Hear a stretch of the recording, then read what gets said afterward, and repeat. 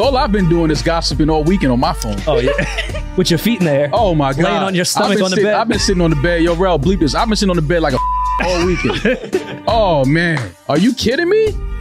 I hit that nigga. I said, and it's funny because the shit that we probably thinking in this battle, I'm trying not to like, you know, hit hit Drake and like see where he's at. I'm like, but he, he hits me. So it's like, okay, you want to open a text conversation right now? Because I'm staying off your line. I'm thinking like you got shit going on. I don't know what you doing over there at the crib.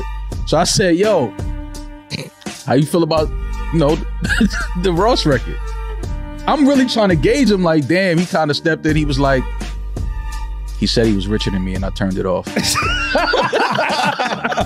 But that's not what Ross said though. Reason why Ross changed his voice when he said that bar is because he was impersonating Drake. Like basically Drake is saying, I got more money than you. And Ross is like, fuck you want me to say? Like, Yeah.